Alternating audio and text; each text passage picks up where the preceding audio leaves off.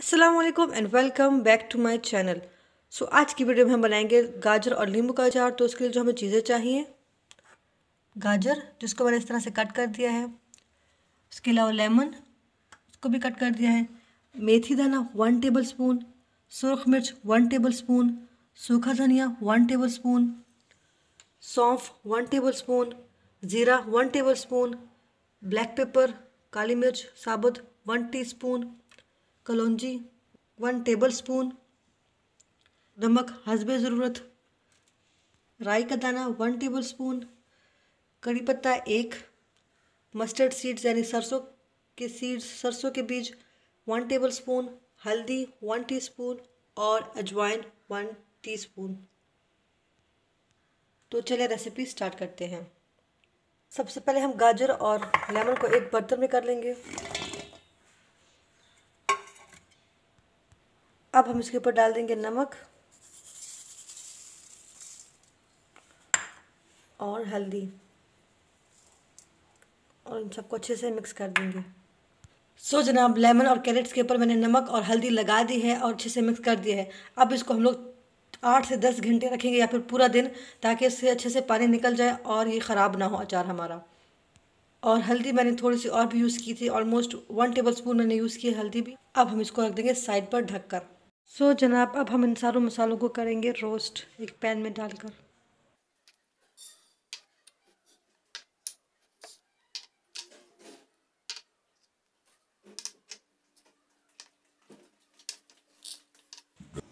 दो मिनट के लिए इन मसालों को हम लोग भूनेंगे ताकि इससे अच्छे से रोस्ट हो जाए और कोई नमी वगैरह हुई तो वो इसमें से निकल जाएगी और और अच्छे से करारे हो जाएँगे।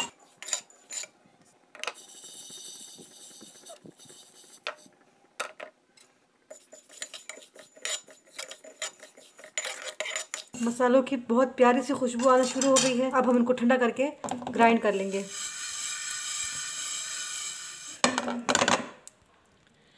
सारे बीज अच्छे से ठंडे हो चुके हैं। अब हम इनको दरदरा सा पीस लेंगे। सो जनाब, गाजरों और लीमू को नमक और हल्दी लगाए हुए दस घंटे हो चुके हैं। और अब जैसे कि आप देख सकते हैं, उसने, उन्होंने पानी छोड़ दिया है।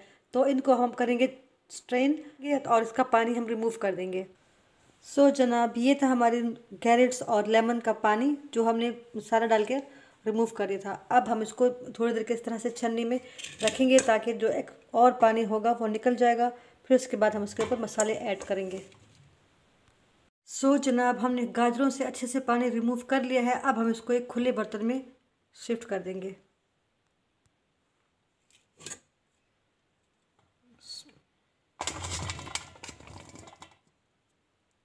अब हम इनके ऊपर अपने पिसे हुए मसाले, बीज ये ऐड कर देंगे।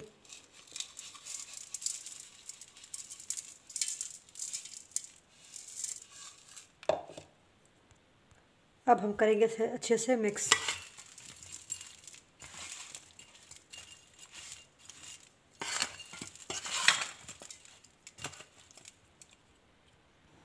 सो so, जनाब हमारे कैरेट्स पर मसाला अच्छे से मिक्स कर लिया है हमने।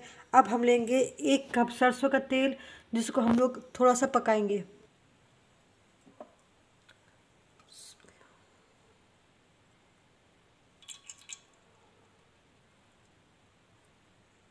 सो so, जनाब हमारा तेल पक चुका है। अब हम इसको थोड़ा सा ठंडा होने देंगे और नीम गर्म हम लोग अपनी गाजरों के ऊपर उसको डालेंगे।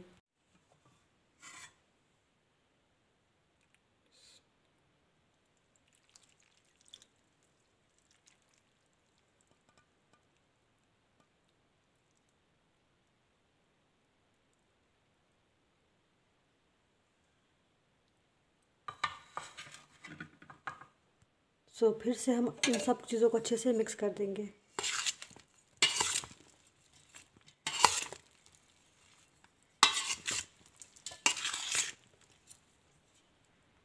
सो so, जनाब ऑयल अच्छे से मिक्स हो चुका है। अब हम इसमें डालेंगे कलौजी। सुरख मिर्च।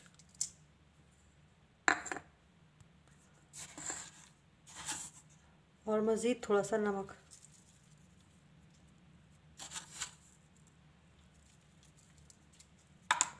अब हम इसको फाइनल मिक्स देंगे।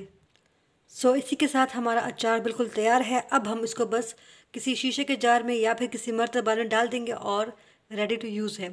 तो ये थी हमारी आज की वीडियो अगर आपको ये वीडियो पसंद आई हो तो turn the black thumb blue subscribe to the channel by turning the red subscribe button black click the bell icon so that you don't miss anything comment section में अपना फीडबैक ज़रूर दीजिएगा और मेरे इस वीडियो को ज़्यादा से ज़्यादा शेयर कीजिएगा। और मेरे पहले चैनल नाज आर्ट गाला को भी ज़रूर सब्सक्राइब कीजिएगा। मिलते हैं नेक्स्ट वीडियो में। तब तक के लिए फ़ी हमारी ला